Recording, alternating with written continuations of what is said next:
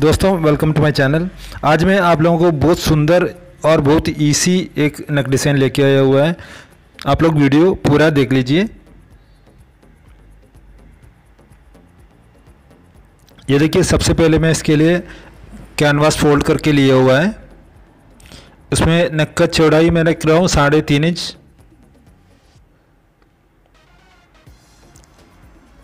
उसके बाद में इसका डेप्थ रखता हूँ साढ़े सात इंच। इसी तरह क्रॉस रख के साढ़े सात इंच मार्क कर लेने का।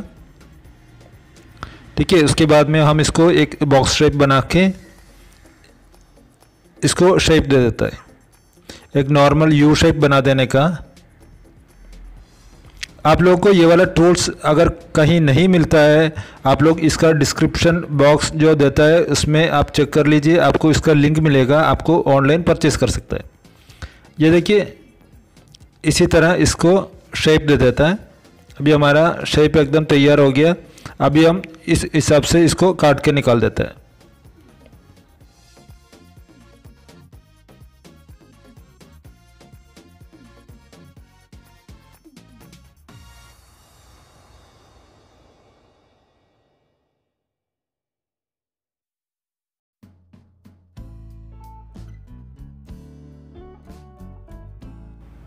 ठीक है, कभी भी इसी तरह आप पिन मार के काट के निकाल देने का, तभी आपका नेक एकदम परफेक्ट बैठ जाएगा।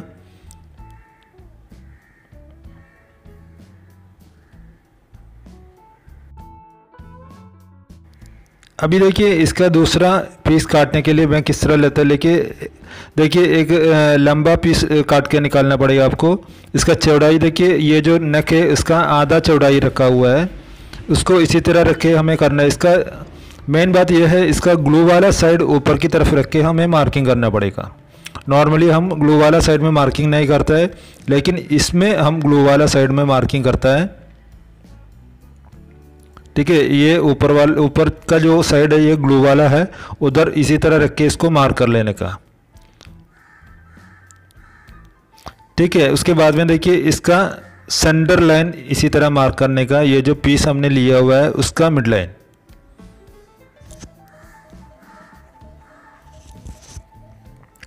इसको मार्क करने के बाद में देखिए, इसका लंबाई मैं ले रहा हूँ इधर साढ़े आठ इंच। ठीक है, साढ़े आठ इंच का लंबाई मार्किंग करके उधर तक हमें शेप बनाना है।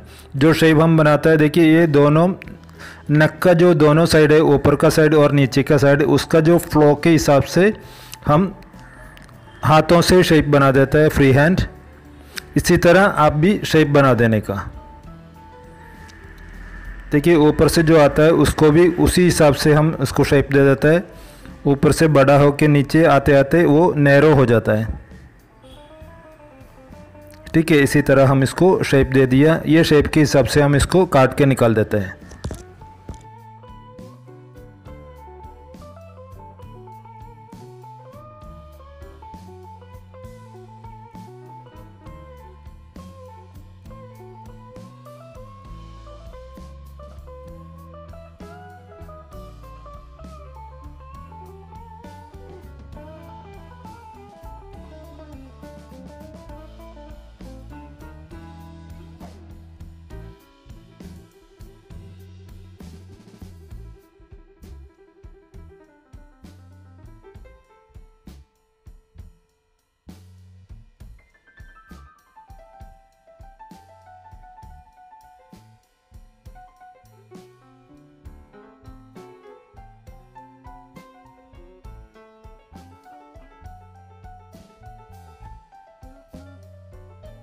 अभी ये देखिए, हमारा नेक और ये वाला पीस दोनों तैयार हो गया हुआ है। अभी देखिए, हमें इसको इसी तरह रख के हमें सिलाई कर देता है। ये देखिए, यही शेप आ जाता है हमारे सिलाई के बाद में। अभी हम क्या करते हैं, इसको दोनों को कपड़े में आयरन करके चिपका देता है।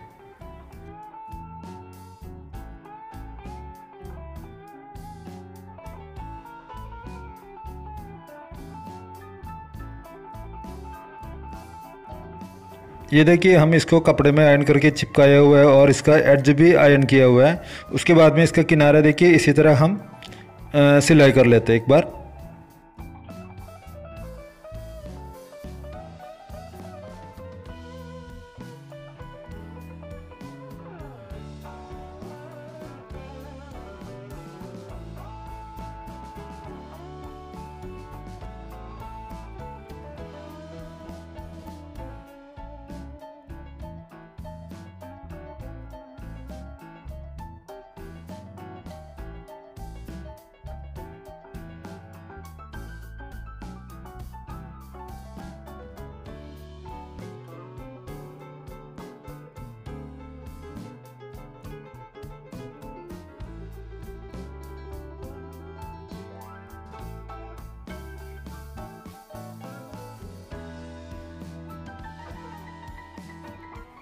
ठीक है, अभी हमारा जो मेन नेक है, उसका भी साइड इसी तरह फोल्ड करके सिलाई कर देने का।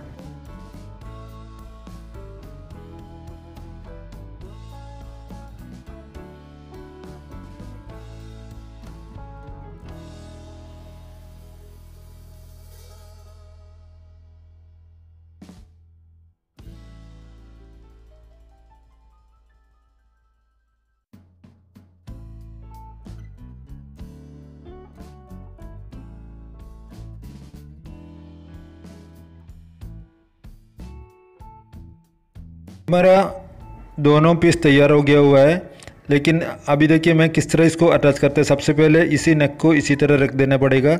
रखने के बाद में हमें सबसे पहले इस पीस को अटैच करके निकालना है। इसलिए इसको इसी तरह रख के बराबर शेप में रख के इसको पिन कर देने का। नहीं तो आपका शेप बिगड़ जाएगा। इसी तरह रख के इसको अच्छी तरह पिन मार के हम सिलाई कर देते हैं। ठीक है, इधर दो पिन मार देने का। उसके बाद में हमें वो बड़ा नेक हम मेन नेक उसके बाद में ही अटैच करता है। सबसे पहले ये अटैच कर लेता है।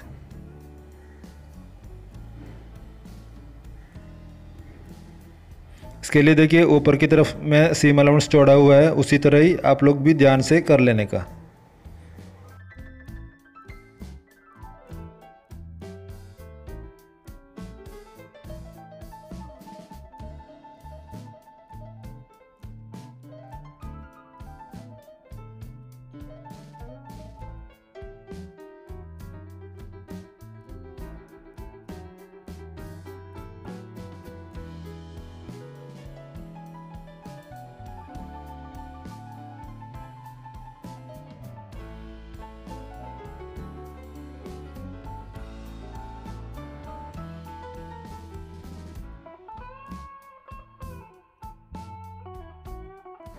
अभी ये देखिए, ये हमारा नेक इधर अटैच हो गया।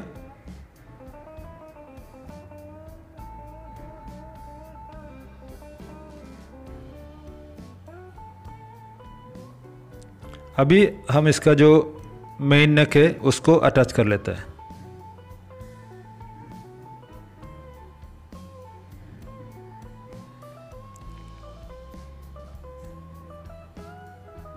ठीक है, इसको देखिए, इसी तरह हम रख के पिन मारना पड़ेगा। जैसा हमने पहले रखा था, उसी तरह इसको रख के हम पिन मार देता है। अभी सिर्फ़ सेंटर देखने का है। सेंटर देख के आप अटैच करेगा तो जो नीचे वाला पीस हमने अटैच किया हुआ है, उसका सिलाई के साथ ये अटैच हो जाता है,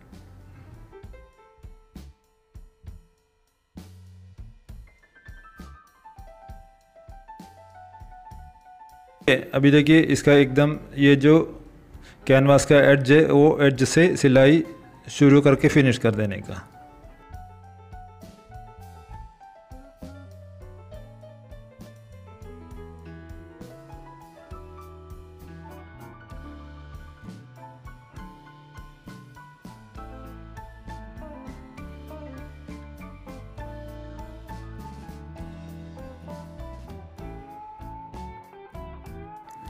अभी नक का सिलाई हो गया। अभी हम इसको क्वार्टर इंच का सीम अलाउंस रख के हम इसको काट के निकाल देते हैं।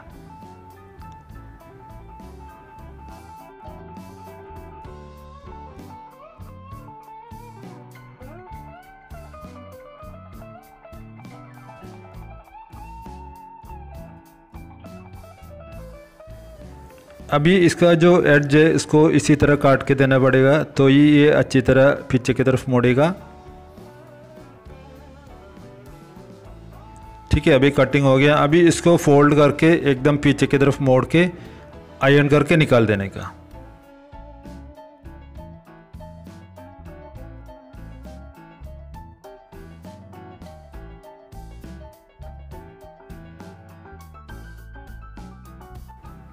ये देखिए, हमारा नेक एकदम से रेडी हो गया। अभी हमें इसके ऊपर से एक पाइपिंग लगाना है। वो पाइपिंग किस तरह लगाते करके मैं आपको दिखाता हूँ। जो विदाउट थ्रेड वाला पाइपिंग लगाते हैं हम इसमें, अभी अच्छी तरह इसको आयरन करके निकाल देते एक बार।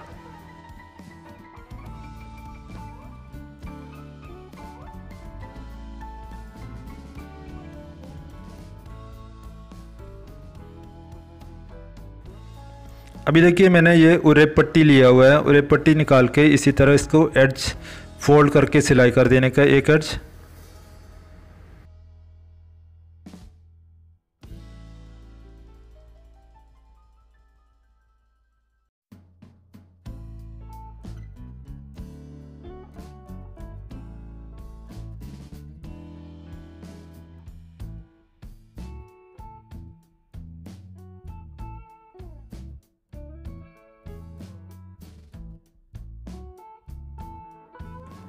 ठीक है, अभी हमारा वो रेप पट्टी एकदम तैयार हो गया।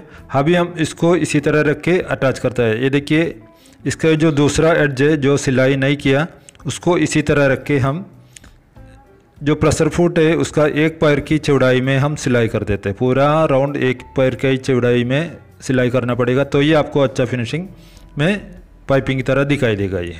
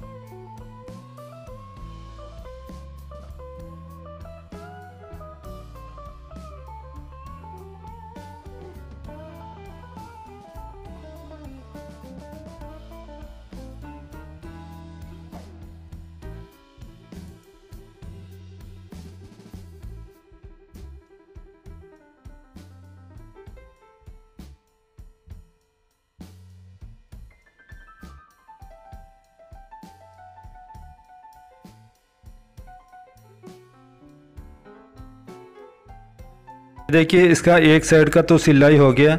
अभी हमें क्या करना पड़ेगा? इसको अच्छी तरह मोड़ के एक बार आयरन करने, देने के, करने के बाद में आप इसको पीछे की तरफ़ मोड़ के अच्छी तरह टाइट पकड़ के सिलाई करना पड़ेगा। तो ही आपको ये बढ़िया फिनिशिंग दे देगा। ठीक है, इसी तरह हम फोल्ड करके एक बार आयरन कर देने का तभी ये अच्छा फिनिशिंग आपको आ जाता है।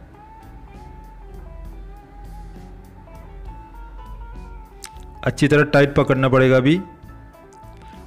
टाइट पकड़ के सिलाई कर देने का।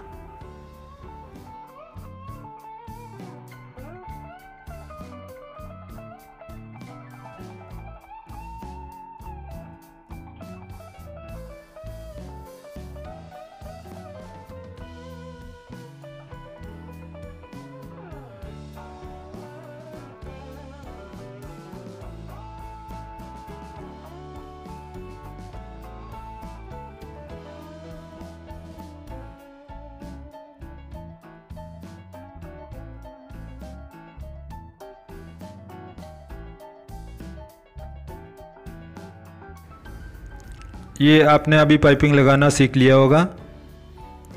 देखिए, बहुत ही आसान काम है ये वाला काम। आप लोग इसी तरह नेक डिज़ाइन बनाते रहने का। ये देखिए, हमारा नेक कितना बढ़िया नेक तैयार हो गया अभी। अभी इसमें और एक काम है बाकी रह गया, ये दिखाता हूँ मैं आपको।